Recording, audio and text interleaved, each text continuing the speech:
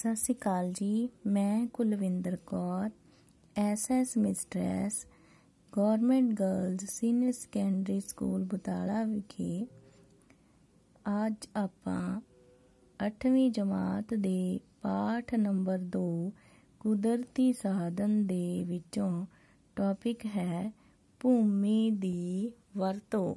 ਇਸ ਦੇ ਬਾਰੇ ਵਿਚਾਰ ਕਰਾਂਗੇ ਕਿ ਭਾਰਤ ਵਿੱਚ ਭੂਮੀ ਦੀ ਵਰਤੋਂ ਕਿਸ ਢੰਗ ਨਾਲ ਕੀਤੀ ਜਾਂਦੀ ਹੈ? ਅਸੀਂ ਜਾਣਦੇ ਹਾਂ ਕਿ ਭਾਰਤ ਦਾ ਕੁੱਲ ਖੇਤਰਫਲ 32 ਲੱਖ 87782 ਵਰਗ ਕਿਲੋਮੀਟਰ ਹੈ।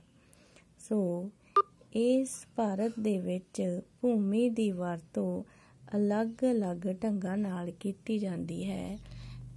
ਸੋ ਇਸ ਦੇ ਵਿੱਚ ਸਭ ਤੋਂ ਵੱਧ ਜਿਹੜਾ ਏਰੀਆ ਹੈ, ਉਹ ਹੈ ਬਿਜਾਈ ਹੇਠ ਭੂਮੀ।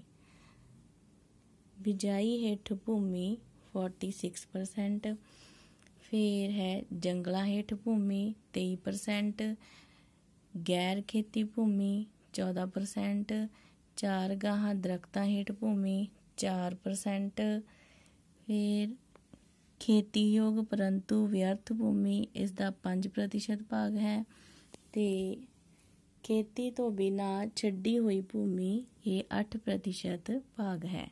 ਸੋ ਪਹਿਲਾਂ ਸਭ ਤੋਂ ਵਿਚਾਰ ਕਰਦੇ ਹਾਂ ਬਿਜਾਈ ਹੇਠ ਭੂਮੀ। ਭਾਰਤ ਦੇ ਵਿੱਚ ਇਸ ਦਾ 46% ਏਰੀਆ ਆਉਂਦਾ ਹੈ, ਜਿਸ ਦੇ ਵਿੱਚ ਅਸੀਂ ਵੱਖ-ਵੱਖ ਪ੍ਰਕਾਰ ਦੀਆਂ ਫਸਲਾਂ ਹੈ ਜਿਹੜੀਆਂ ਉਹ ਉਗਾਉਂਦੇ ਆ ਤੇ ਇਸ ਦੀ ਉਪਜਾਊ ਸ਼ਕਤੀ ਬਹੁਤ ਵਧੀਆ ਹੈ। ਜ਼ਿਆਦਾਤਰ ਭਾਰਤ ਦੇ ਲੋਕ ਇਸੇ ਕਲਟੀਵੇਟਡ ਏਰੀਆ ਦੇ ਉੱਤੇ ਨਿਰਭਰ ਕਰਦੇ ਨੇ। ਦੂਜੀ ਹੈ ਜੰਗਲਾਂ ਹੇਠ ਭੂਮੀ। ਭਾਰਤ ਦੇ ਵਿੱਚ ਜੰਗਲਾਂ ਹੇਠ ਭੂਮੀ ਆਉਂਦੀ ਹੈ ਲਗਭਗ 23% ਟੋਟਲ ਹੈ 22.2% ਲੇਕਿਨ ਟੋਟਲ ਹੋਣਾ ਚਾਹੀਦਾ ਹੈ ਜੰਗਲੀ ਏਰੀਆ ਉਹ 33% ਦਾ ਰਕਬਾ ਹੈ ਜਿਹੜਾ ਸੰਘਣੀ ਆਬਾਦੀ ਵਾਲੇ ਦੇਸ਼ ਵਿੱਚ 33% ਜੰਗਲ ਹੋਣੇ ਚਾਹੀਦੇ ਹਨ। ਭਾਰਤ ਵਿੱਚ ਇਹ ਹਿੱਸਾ ਬਹੁਤ ਘੱਟ ਹੈ। ਲਗਾਤਾਰ ਦਰਖਤ ਅਸੀਂ ਕੱਟਦੇ ਜਾ ਰਹੇ ਹਾਂ। ਜਿਸ ਕਾਰਨ ਜੰਗਲਾਂ ਦੀ ਆ ਜਿਹੜੀ ਏਰੀਆ ਉਹ ਘਟਦਾ ਜਾ ਰਿਹਾ ਹੈ। ਇਸ ਲਈ ਵੱਧ ਤੋਂ ਵੱਧ ਸਾਨੂੰ ਦਰਖਤ ਲਗਾਉਣੇ ਚਾਹੀਦੇ ਹਨ। ਅੱਗੇ ਹੈ ਗੈਰ ਖੇਤੀ ਭੂਮੀ। ਇਹ ਕੁੱਲ ਖੇਤਰਫਲ ਦਾ ਇਸ ਵਿੱਚ 14% ਭਾਗ ਆਉਂਦਾ ਹੈ। ਇਸ ਹਿੱਸੇ ਦੇ ਵਿੱਚ ਸ਼ਹਿਰ, ਪਿੰਡ, ਰੇਲਵੇ ਲਾਈਨਾਂ, ਦਰਿਆ, ਨਦੀਆਂ, ਝੀਲਾਂ, ਇਹਨਾਂ ਨੇ ਇਹ ਮੱਲੀ ਹੋਈ ਹੈ ਇਹ ਵਾਲਾ ਏਰੀਆ ਤੇ ਬੰਜਰ ਭੂਮੀ ਦਾ ਹਿੱਸਾ ਵੀ ਇਸੇ ਗੈਰ ਖੇਤੀ ਭੂਮੀ ਦੇ ਵਿੱਚ ਆਉਂਦਾ ਹੈ। ਅੱਗੇ ਹੈ ਚਾਰ ਗਾਹਾਂ ਅਤੇ ਦਰਖਤਾਂ ਹੇਠ ਭੂਮੀ। ਇਸ ਵਿੱਚ ਕੁੱਲ ਭੂਮੀ ਦਾ 4% ਹਿੱਸਾ ਚਾਰ ਗਾਹਾਂ ਹੇਠ ਹੁੰਦਾ ਹੈ, ਜਿਸ ਵਿੱਚ ਅਸੀਂ ਪਸ਼ੂਆਂ ਨੂੰ ਚਰਾਉਣ ਦੇ ਲਈ ਲੈ ਕੇ ਜਾਂਦੇ ਹਾਂ। ਭਾਰਤ ਵਿੱਚ ਹੁਣ ਪੰਜਾਬ ਵਰਗੇ ਰਾਜ ਵਿੱਚ ਇਹ ਹਿੱਸਾ ਵੀ ਹੁਣ ਘਟਦਾ ਜਾ ਰਿਹਾ ਹੈ ਪਸ਼ੂਆਂ ਨੂੰ ਚਰਾਉਣ ਦਾ।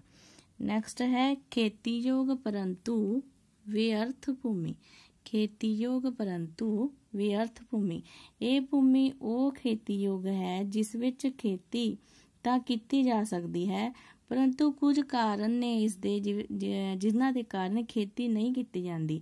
ਜਿਵੇਂ ਕਾਫੀ ਲੰਮੇ ਸਮੇਂ ਤੱਕ ਇਹਦੇ ਵਿੱਚ ਪਾਣੀ ਖੜਾ ਰਹਿੰਦਾ ਹੈ, ਲੂਣਾ ਦੀ ਘਾਟ ਪਾਈ ਜਾਂਦੀ ਹੈ, ਮਿੱਟੀ ਰੁੜ ਜਾਂਦੀ ਹੈ ਤੇ ਇਹਨਾਂ ਦੇ ਕਾਰਨ ਇਹ ਜਿਹੜੀ ਇਹਦੀ ਉਪਜਾਊ ਸ਼ਕਤੀ ਘਟ ਜਾਂਦੀ ਹੈ।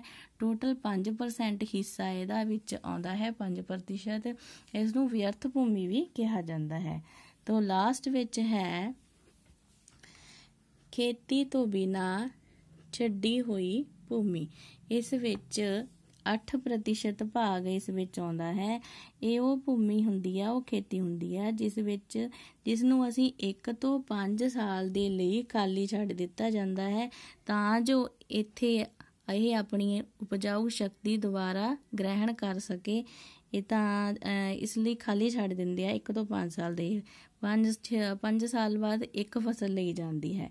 ਸੋ ਇਹ ਨੇ ਵੱਖ-ਵੱਖ ਪ੍ਰਕਾਰ ਦੀਆਂ ਭੂਮੀ ਵਰਤੋਂ ਭਾਰਤ ਦੇ ਵਿੱਚ।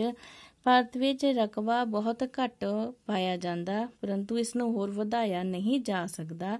ਲੇਕਿਨ ਇਸ ਦੀ ਅਗਰ ਸਹਿਯੋਗ ਤਰੀਕੇ ਨਾਲ, ਚੰਗੇ ਢੰਗ ਤਰੀਕੇ ਨਾਲ ਵਰਤੋਂ ਕੀਤੀ ਜਾਵੇ, ਤਾਂ ਇਸ ਦੀ ਉਪਜਾਊ ਸ਼ਕਤੀ ਨੂੰ ਅਸੀਂ ਬਰਕਰਾਰ ਰੱਖ ਸਕਦੇ ਹਾਂ।